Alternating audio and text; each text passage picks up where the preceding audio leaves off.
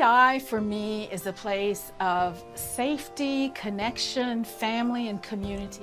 Things are going to be quieter. Uh, people are going to be uh, friendlier. You get the beaches, you get wonderful ocean views, and the seafood's amazing. The rolling hills, the greenness. It's just a pastoral beauty surrounded by an ocean wonderland. It's fantastic. Prince Edward Island. The Mi'kmaq call it land cradled in the waves, which is a fitting name for the small island province. Known as the birthplace of Canada's Confederation, PEI is the most densely populated province in the country, though the throngs of tourists surpass this during the summer months. You can see why. With endless beaches and lovely pastoral landscapes, PEI welcomes folks to visit and enjoy the island at a relaxing pace. And that's something I can certainly get used to. While hearing and vision loss may change how I travel, it won't stop me from experiencing the people and culture that makes this part of Canada so unique. I'm Alex Smyth, and this is Postcards from PEI. The ocean inspires drama. The scale, the sounds, and the impact it has on the shoreline. And a place like Thunder Cove certainly lives up to its dramatic name. Its forms are in stark contrast to the rolling dunes and the wide sandy beaches normally seen on the northern side of the island.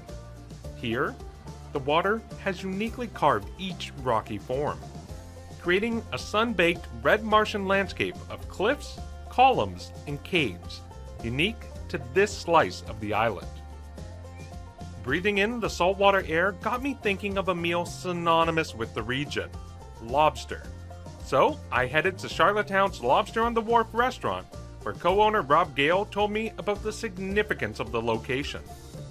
I don't think you could ask for a better location. It's a full experience because there's actually you're eating on a wharf, and the history of the wharf, you know, is, is, is very storied. I mean, this they used to bring the lobster catches in on the wharf and and uh, the, you know and, and prepare them for market and all that stuff. So there's a long history of, of the, this activity down here. Uh, the business originally started back in 1964 as just really nothing more than maybe a baby barn uh, selling lobster to the locals, and and the the owner uh, just evolved the business into a restaurant on the waterfront. What what do you serve with your lobster dinner?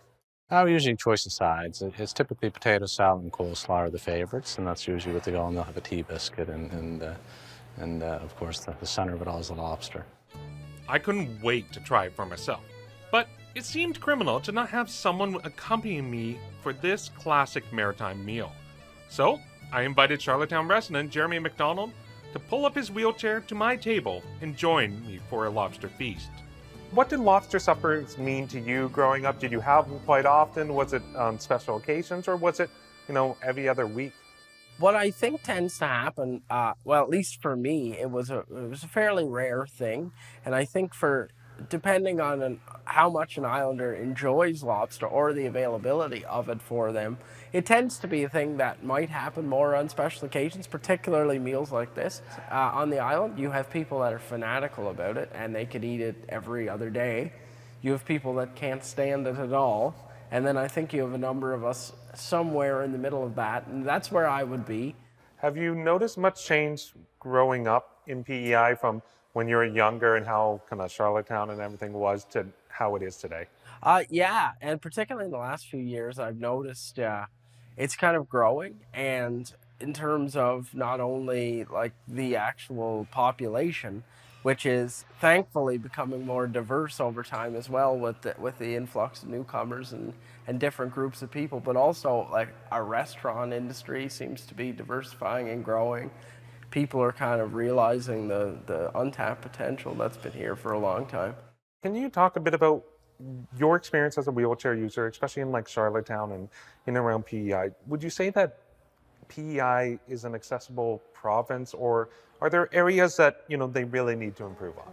Well, I think I think we've made progress. I think there's been growth. Uh, I think there's still uh, a ways to go particularly maybe in the more rural areas of the island, of course, where it might not always be uh, consideration. But one thing that I've found over time is that a lot of times if you raise an accessibility issue with a business, a restaurant, something like that, they will at least be receptive and willing to have that conversation about what they can do to make things better. Thankfully, with you know legislative initiatives like the Accessibility Act and, and different provincial acts that are coming into force, trying to make different places across Canada more accessible, I think it's it's a larger conversation that's being had more now. And I think maybe you you know younger generations of disability advocates are more willing to be vocal about what they need and what's lacking, uh, and we don't necessarily uh, shrink from that conversation anymore, and we're not afraid to, when we need to, demand uh, better accessibility. That change, which Jeremy is a part of, is something worth celebrating with a meal like this. So, we pressed pause on our chat and dug into our lobster dinner. And it did not disappoint.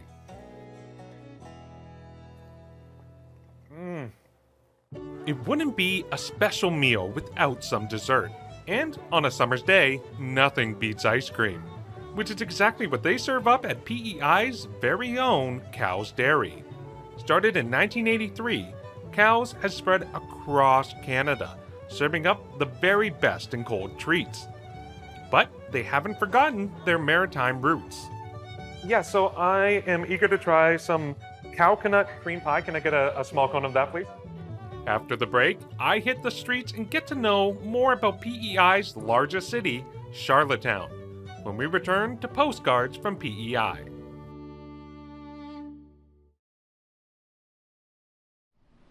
Welcome back to Postcards from PEI. History has deep roots in this island province, and while small and unassuming, its capital, Charlottetown, played a key role in the formation of the country. The island's largest city played host to members from the Dominion of Canada and the other maritime provinces, who sought to explore the idea of confederacy. However, those initial meetings did not get off to a smooth start. Cameron McDonald, tour guide and lead heritage player for the Confederation Center for the Arts, dressed in full period attire, fills me in on that fateful first meeting as we meet up in a park on a windy day. So they load up their steamship with the finest delegates, 17 liquid tons of champagne to impress the Maritimers, and they come right around here, in fact, in their steamship, the SS Queen Victoria and it's right around this present location where they would have moored their ship. And they would have waited, for it was incredibly rude in the Victorian era to land on an island without first being greeted and welcomed ashore. And they were waiting for the greeting party, which seemed to be absent. In fact, the entirety of the Charlottetown harbor was empty. A, a very strange sight. The reason no one was here, the circus was in town. The first time the circus came to Charlottetown in 22 years, so everyone was uh, quite literally at the circus. What happened next is forever immortalized in the metal display overlooking the harbor, depicting Colonial Secretary William Henry Pope greeting the SS Victoria just off the shoreline. So he throws on his Sunday best, he tears down Great George Street, which at the time would have not been paved, red dirt soil, it's believed perhaps he fell down, as it's recorded he had the island soil on his clothes by the time he got down here, and he realizes he's got a pretty big issue. There's no one here, no one to crew a ship and go out and, and greet the Canadians. Finally, he finds a little oyster boat.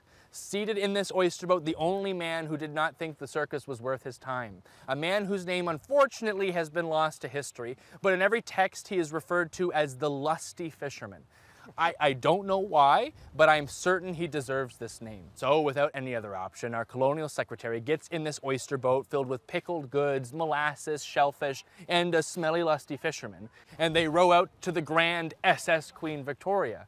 The Canadians don't get off particularly well in this story either. Uh, they see this little oyster boat approaching, and they've been waiting for about three hours at this point. Before our colonial secretary can welcome them, the Canadians start shouting down. Ahoy, skippers! What's the price of shellfish? We're awfully hungry. An awkward first encounter, to which our colonial secretary takes his hat in hand and says, Welcome to the colony of Prince Edward Island. Please come ashore. A, a very awkward first encounter, to say the least. It's stories like this one that Cameron and his team of heritage players get to share with visitors, highlighting different parts of the city's distinctive past. It's easy to see his love of this city and passion really shine through the many wool layers of his costume. It's something that I am surrounded by every day, the history of this place. I'm also a ninth generation islander, so my family's been here for quite some time. Uh, believe it or not, there was a time I thought the island was very boring and I couldn't think of any history that might intrigue me here. Uh, but once I started delving into the stories, I was proven very wrong. There is a rich history here, uh, not just with the Mi'kmaq First Nations, uh, but then the Acadian French, the Gaelic people from Ireland and Scotland, and the English. There is a whole amount of history here, and it all kind of mixes and matches and blends in together on this small little island uh, that had some very unique history in the context of, of our Canadian history in a whole. What's your favorite part about leading tours and seeing that uh, visitors and uh, guests are taking something new or uh, learning something that they didn't know about Charlottetown? It, it's one of my favorite things, honestly. Uh, giving these tours, it, it, never gets old because of it. When people come here, uh, they are learning something new almost always. And the best part for me is seeing people discover the island through themselves. It's like if you're showing a friend a movie that you love and you're kind of watching your friend the more so than you're watching the movie because you know the movie so well and you get to see that reaction that's what makes this special for me is, is reliving it through people over and over again cameron is certainly right that the history of the area is so rich and varied while not everyone was aware about the fascinating anecdotes of PEI's past, like the last duel on the island, or the tale of two Colonel John Hamilton Greys, I'm sure that everyone would be aware of the connection between the province and its potatoes. With over 86,000 acres farmed each year, the island's largest crop deserves a place that pays homage to all things Spud. Lucky for me, the Canadian Potato Museum has exactly what I'm looking for. And if the giant potato statue out front was any indication, I was in for a treat. Stanley McDonald is a board member with the Canadian Potato Museum and his wealth of knowledge around all things potato was something to behold. Well, it's, it's a unique collection of potato equipment, information, history, which we've been very fortunate to collect over a period of years. And uh, of course, potatoes for Prince Edward Island are uh, uh, unique in the sense that we have a climate that's similar to the Andes Mountains, where the potato began a few thousand years ago and that climate is typically warm days, cool nights. And of course, on top of that, we have a good soil. As Stanley mentioned, the 14,000 square feet museum has the world's largest collection of potato-related machinery, artifacts, and exhibits. And around each corner, there is something different to explore. Personally, I enjoyed the potato graveyard, highlighting the different diseases and factors that can impact the potato which is presented in several cute but slightly macabre potato sized coffins. But there was also something else that caught my eye. One thing that I noticed when you walk into uh, the museum is there's also a restaurant here. Yes. Um, there, there's some kind of standard fare you would expect in, in the potato museum, a lot of potato dishes, but if I recall, there was something called the seaweed pie. What can you tell me about the seaweed pie? The seaweed pie. Well, that's a local. It's a special pie that includes some seaweed. It's different. Have you had it? Oh yes. What does it taste like, or is this something I'm just going to have to try myself and figure it out? Well, I, it tastes, in my opinion, it tastes nice. I like it. Uh, I think you should try it too. Mm-hmm. And our potato fudge, I mean, you've got to try potato fudge. Yeah, if you want to stop somebody in their tracks, you say, have you tried our potato fudge? and that stops them. They say, potato fudge. I don't think I've ever heard tell it. What is it? What is it? Well, my stomach was starting to growl, and that restaurant sounded perfect. And following Stanley's advice, I knew exactly what to order.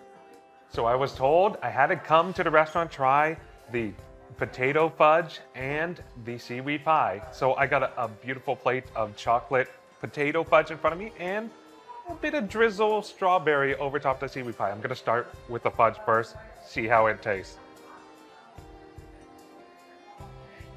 Mm. Oh wow. Mm. It's rich, tons of chocolate flavor, sweet, creamy. You know, if you didn't tell me this was made with potato, I'd have no idea. This is really good. Mm. Okay, the fudge is done. Now, it's time to try the pie. Got a nice little forkful here. I don't know how this is going to taste. Okay, first impressions, not bad. It, it tastes quite nice. It's very light, very sweet, delicate, nice strawberry hit. Again, I wouldn't have known this was made with seaweed, which is a very weird thing for me to say, but I gotta try another bite just to make sure. I enjoyed my time getting a taste of the history here. But after the break, we go back further to learn about the island's first people when we return to postcards from PEI.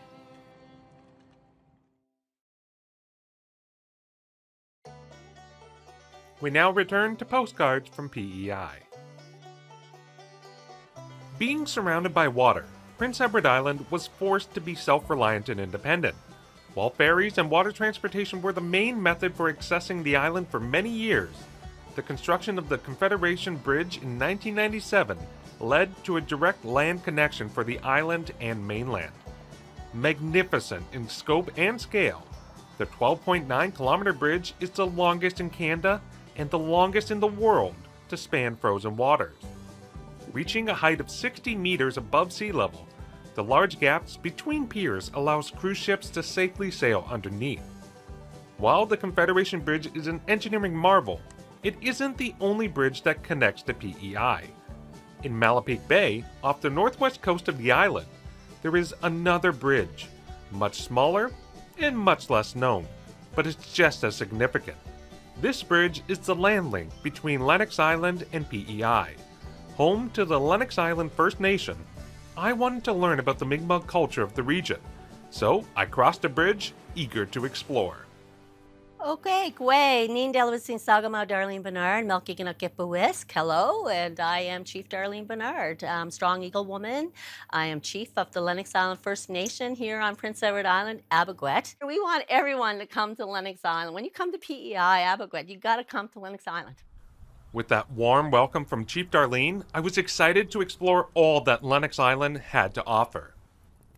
My first stop was to a fire pit, where I found Kelly getting things ready for a traditional way of making bannock, an unleavened bread that consists of flour, water, oil, and baking powder. Kelly, we're, we're outside. We got a bunch of supplies in front of us. What are we doing? We're gonna make bannock in the sand. Um, first, I'm gonna start making the bannock here on the picnic table. Mhm. Uh, and then we'll take the bannock and then we'll move it to the fire where it will be cooked underneath the fire for about uh, an hour or so. Um, and while that's cooking, we'll have oysters over the fire cooking as well. Ooh, that sounds good. Once ready, Kelly brought the prepared bannock to the roaring fire. By making a hole in the hot sands and carefully dumping the flour all around the area, it will form an insulating shell for the bannock as it cooks. And this is one of the things we learned about cooking the bannock in the dough. Once the bannock is in place, Kelly covers it with more flour. Then, the sands of fire are placed back on top while it cooks below. While cooking, she placed oysters on a grill over the fire. Caught from the bay surrounding the island, they don't come any fresher than this. when they're cooked over a fire, it just tastes a whole lot better. Just the flavor from the smoke and the oyster itself is really, really different rather than being boiled. As the bannock finished cooking, Kelly removed the fire to reveal a black ball of dough and flour. After shaking off the sands, she proceeded to cut the hardened black outer shell to reveal a perfectly cooked bannock center. As we sat and enjoyed the delicious meal, I asked Kelly about the importance of sharing these traditions. It's good to bring the kids over and teach them about how bannock was made because um, it's reviving a, a tradition and I never got that when I was a young child myself. Um, but to be able to break that cycle, to be able to allow to teach smaller children to show them about how things were done um, with their great grandparents and how things would have been cooked. So it's basically oral tradition, just brought down and just surviving through oral tradition. That's what kept uh, our way of life uh, still still here. Keeping that knowledge alive is critical for the community. But experiences like this one also helps to draw visitors who want to learn about the culture we did a lot of work on developing these experiences because that's what it's all about. Like people now, I think it's different when you travel. You want experiences. So when people come off of that bridge or fly in, I want them to know that this is Mi'kmaq territory. This is the Mi'kmaq. It's not Cree, it's not Innu, it's not Métis. It's Mi'kmaq. You're in Mi'kma'ki. There is no mistaking Lennox Island for anywhere else. The island offers a number of cultural experiences for visitors to try so that they gain an understanding and appreciation for the Mi'kmaq culture here. Experiences like drum making, which I was lucky enough to try with Faith Myers, who gave me the rundown of what to expect. We soak the hides for 24 hours in advance and then once the hides are soaked we are going to punch the holes in them. So we're going to have eight hole punches. Um, it's kind of like eight pizza slices when it all comes together is what we want. And then we use the um, wooden frame. It's a circular frame and we're going to put that into the middle of the hide and the lacing, which is also deer hide, we're just gonna work like from across from each other. So you will put it in one side and then come out the other and then it keeps going diagonally around. It looks like really messy when you first have it like all strung together. It looks messy and everyone's like, oh, I don't think that this is how it's supposed to look. But once you wrap it around and pull, the, pull it together, it looks amazing. And I think the people are pretty shocked every time. Well, that sounded straightforward enough. So we made our way out back to get started, with the first step being stretching the leather strap. You're wanting to pull tight, but not too tight that it snaps. Right, right, that's fair. Okay, and just kind of working through. Stretch. Stretch. Getting my workout in today. Yeah. While the strap was ready to go, we had to work quickly to hammer in the holes and wrap the hide around the wood ring before the hide dried up and became stiff. And I feel this is probably a bit of a race against the clock, is it? Yeah. Faith's nervous laugh confirmed my suspicions, but we made good progress. Once the drum was sufficiently wrapped around the wooden frame, it was time to make the handhold and finish it off.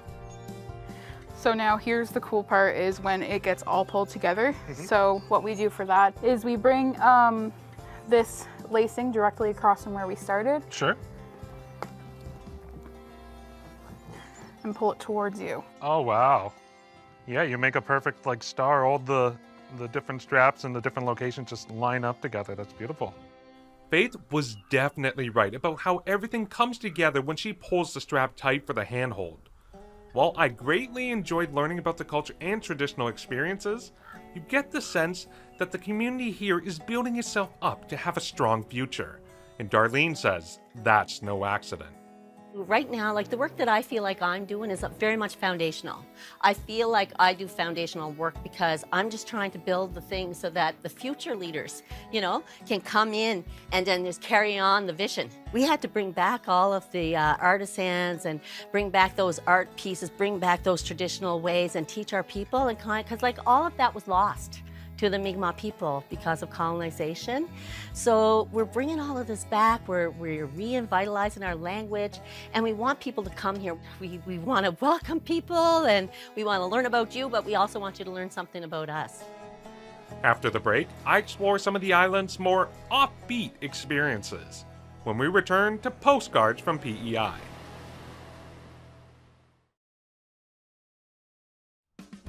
We now return to postcards from PEI. Prince Edward Island may be small, but there's no shortage of culture and distinctive personality that makes this sliver of land so unique. Acadian culture is the perfect example of this. With roots in French settlements dating back hundreds of years, a strong connection still exists today. And while you can find various examples of the Acadian culture throughout the island, I was interested in a place that stood apart from the rest. The glass bottle houses of Cape Egmont are a colorful mosaic of green, brown, and clear bottles held together with concrete and form three distinctive buildings surrounded by a garden oasis. The fever dream of Edward Arsenault, this site has become a tourist destination for decades. I met with Angie Cormier, co-owner of the bottle houses, to learn more about this whimsical place. That's the amazing thing. Like when, when you walk around and you look, it all they all have patterns by color, by bottle size and type, and then there's windows, and then there's like the angle of the walls, and you think, where did he come up with that? And he imagined all that, right? Yeah. When he did that. And uh, it, it, it's I find it's amazing. And also when you're building a house out of bottles and cement, it's not like building a regular house. Like you can't put up one wall and then the next wall. So everything was laid out bottle by bottle, line by line for each wall, right? And then when one wall was done, we do another one because you, um, you, you couldn't just put up a wall and then stand it up. And so, what space are we in right now? This is the tavern, ou la taverne in good Acadien. Uh, we have three buildings, and this is the, the, the second one he built. And we have a, a Green Gables bottle house, which is like a home, and then the chapel. So we say it's like a good Acadian village. You know, you pray, you play, and you stay. there's three. There's always those types of uh, buildings or areas in a in a little village, right? It was truly serene to walk along the garden path and over the bridge. The eclectic nature of the houses, coupled with the garden decor of teacups hanging in trees, miniature houses for fairies, and archways to nowhere, you get the clear sense that this place was meant to inspire joy and creativity. And it has certainly succeeded. They just cannot believe the creativity, the imagination. And then I have people who know bottles, and they'll say, Do you know that you have this really rare type of bottle or jar? And there's bottles from all over the world. And I still have people today bring bottles, and they'll say, Oh, I found this. Was digging or in a junkyard or trash or traveled somewhere. Do you, can I give it to you? I was like, sure. It was truly a strange sight to find these houses and gardens nestled amongst farmland and shoreline. Angie mentioned that Acadians and Islanders overall had close ties to the land, and that was a relationship I wanted to learn more about. So, I met up with Nancy Sanderson from Hope River Farms for a hands on farming experience, and she explained what that would entail. Well, we're going to do some chores, our morning chores. So we feed and water and move any animals that require it. And what animals am I going to be encountering this morning? Well, we've got some pigs, Okay. two groups of pigs that we're going to be feeding and watering. We've got an assortment of chickens, large, small, and egg layers, and there's some baby turkeys and a collection of sheep. I gotta ask you, how did you manage to pull this off? So normally farming is always hard, physical labor, and you know, you couldn't pay some people to, to do farming. Yet you get people to pay you to come and try farming. I mean, that's a pretty sweet gig. Yeah, I know. The, the locals thought I was bonkers in the beginning. But really, I thought of it from the perspective of, say, a family in the city. Maybe they live in a small apartment, a high rise somewhere. They rarely get out into open space, let alone onto a farm. So, what a unique opportunity to come and actually be the farmer, not just go to a petting zoo and pet something, but actually feed it and learn about it and get involved. I thought that was a more immersive experience and be more fun. We were off with our first job being feeding the pigs. With two large buckets of pellets, the three 150 pound pigs didn't waste any time chowing down on their breakfast. So, how much do they eat on any given day? I mean, we got two buckets here full of feed. Is, is that every day that they're getting that, that amount? That's twice a day they're getting that amount. So these pigs uh, take five pounds of grain Yeah. for every pound that they gain. Okay. So they go from roughly 30 pounds when I get them to 400 Yep. at finish. So three little pigs takes a lot of feed. They're not little pigs for much longer Not once you for much longer. No, that's right. We then passed her hay fields as we moved on to her herd of 50 sheep, which were hidden at first in the tall grasses and trees, but quickly came running when Nancy called for them. Bring your baby. Hey, girls. Hey, girls. And now they're coming. Now we got them. Come on, ladies. Like the pigs before them, they were happy to enjoy a meal. While it was a hot and sunny day, experiencing the chores firsthand had me wondering about a future in agriculture. But before I did anything crazy, I wanted to find out why the island is such a great place for farming. Well, the climate's fantastic. When I moved here from Saskatchewan, it was like utopia. It was so nice long season, get all the beautiful rolling hills and the countryside, and it's just a pastoral beauty surrounded by an ocean wonderland. It's fantastic. Fantastic indeed. But before I could kick back and call it a day, we had to check in with the chickens for one last chore. Nancy, we're in a new spot. We got new guests in front of us. There are a pen full of chickens. Uh, what are we doing here? So these need to be fed and watered, and because they're stuck in a small pen, we have to move the entire pen to get them onto clean ground. Okay, so what's the first step in doing that?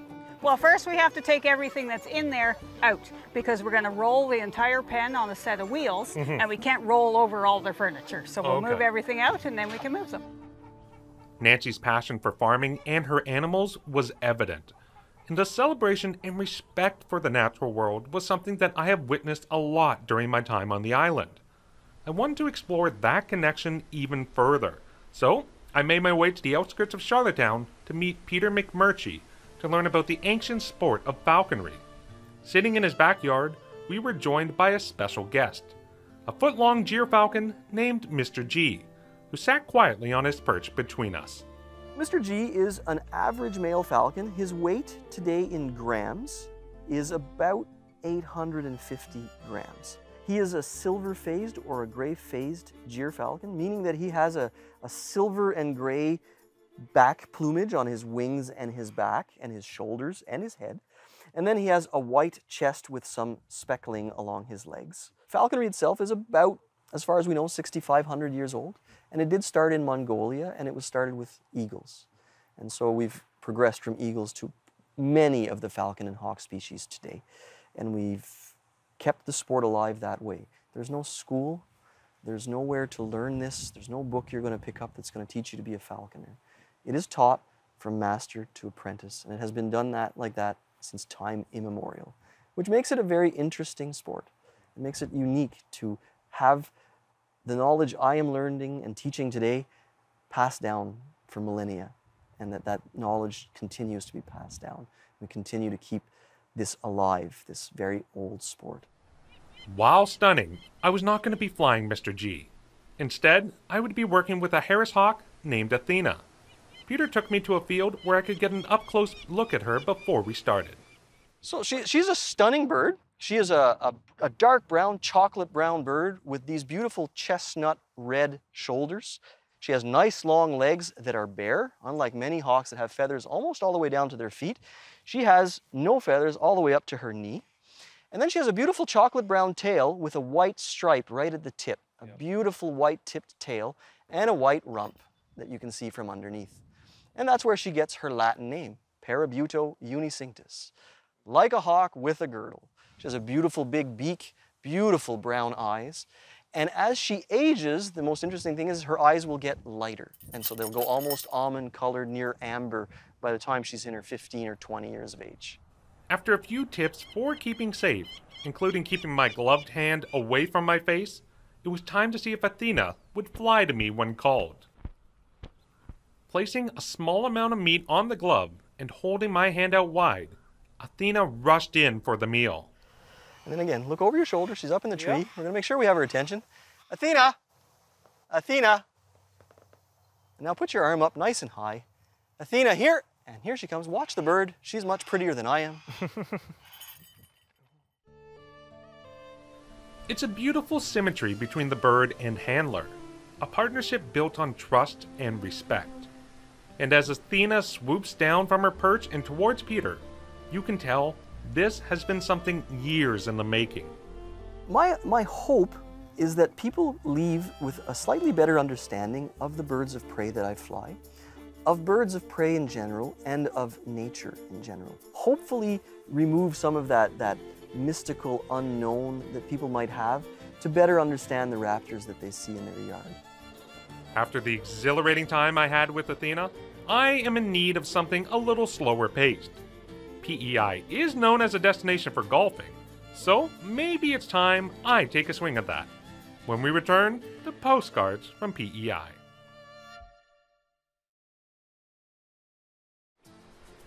Welcome back to Postcards from PEI. PEI's rolling pastoral landscapes welcomes one to take a stroll or enjoyable ride. So perhaps it's no surprise that the island hosts more golf courses than anywhere else in the country. We have a lot of coastal views, we have a lot of rolling hills, we have some simple courses like this that are in, right in a city center.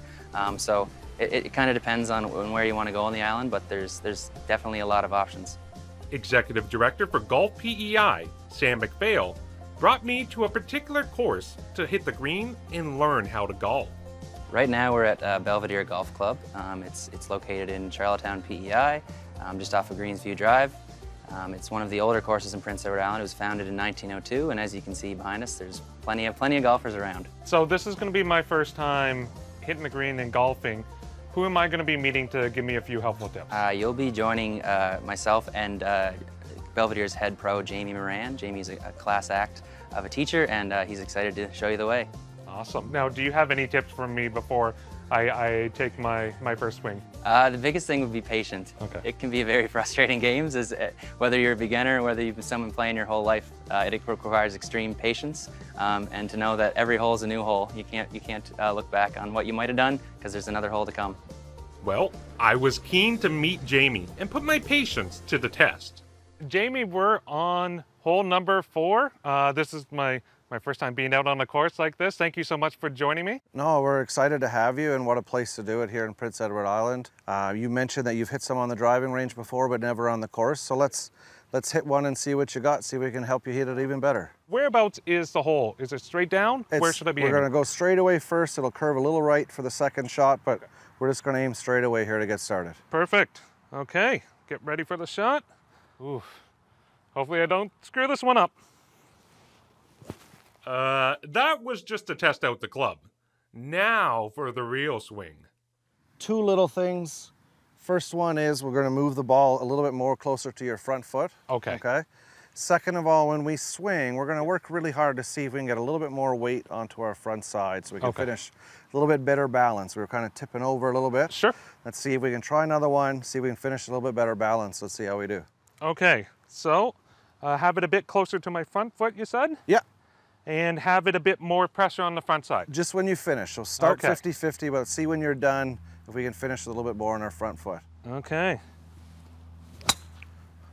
Wow, well done. Thank for you, thank you. Next lesson, a chip onto the green with a seven iron. I see the, the green out there. Uh, so how should I be approaching the shot? Um, now we're gonna have the ball in the middle of our stance. Okay. Um, we hit a great drive here. Yep. Some of the swings we took back there were a little bit more on the violent side, so we're gonna okay. try and finish a little bit more relaxed, a little bit Sure. more in balance. Okay. Let's see how we do. Okay, well, here we go. Well struck. Thank you. And finally, a 12 foot putt on the green. Now, I noticed on the putter, there's a couple lines. What are those for? Um, two reasons. One is to help you aim the putter in the proper direction. Sure. That's also going to give you an impact area that you're trying to strike the golf ball as well, oh, Okay. almost like a sweet spot. Right. Right, so when we get set up, we want to make Yep. sure we've got the lines of that putter lined up in the direction we want to go. Okay. This putt's going to be pretty darn straight. Yep. And our goal is going to be to see if I can follow through continuously straight in that direction. Right. Okay, so just try to keep it straight, follow through that line, lined up with the hole.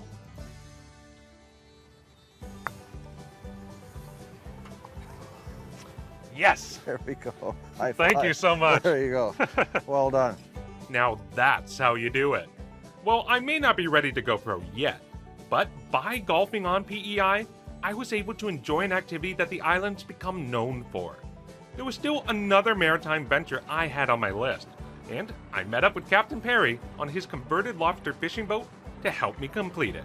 Now, Perry, we're sitting on your boat in the beautiful Georgetown Harbor. There's ships around us.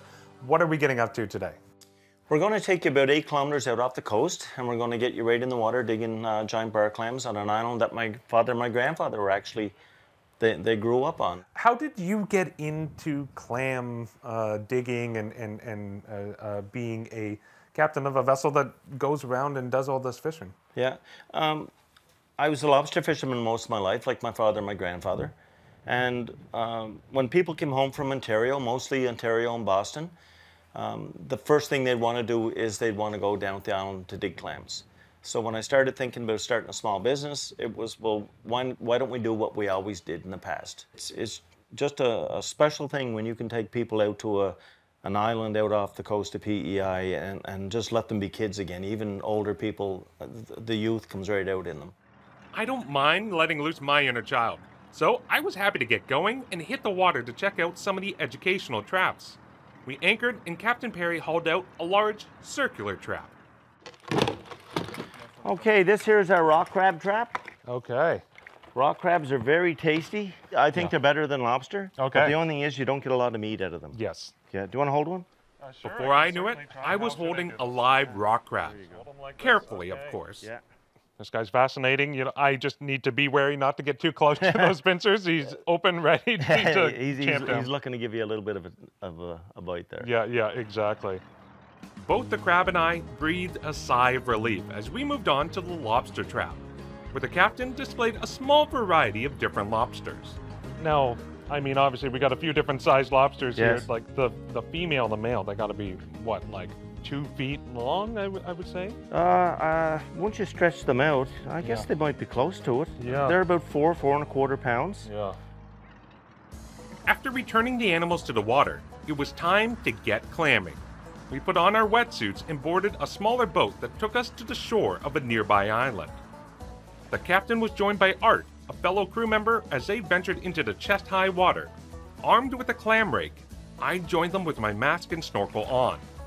Dipping under the water, I looked for what Perry described as small belly buttons in the sand and managed to actually dig up a few clams. After finding some more, we climbed out and went to the shore to cook them up. So I got the meat and the juice. Yeah. Take a little sip and eat some clam. Okay.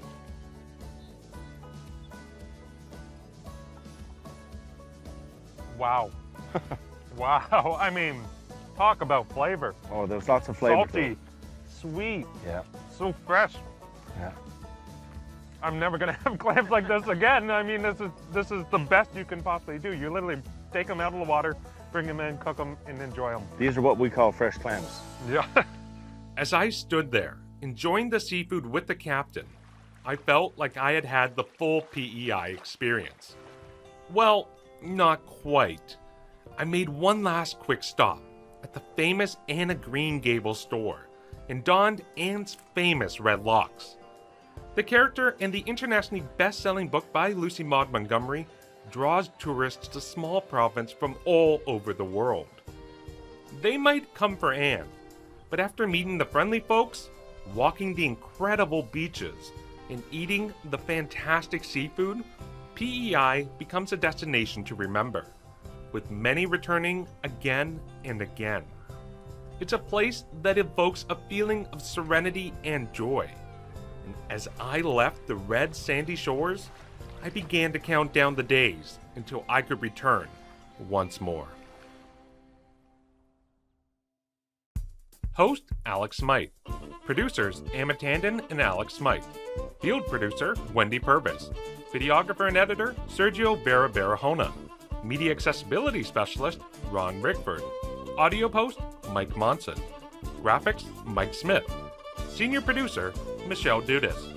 President and CEO David Errington. Copyright 2022 Accessible Media Inc.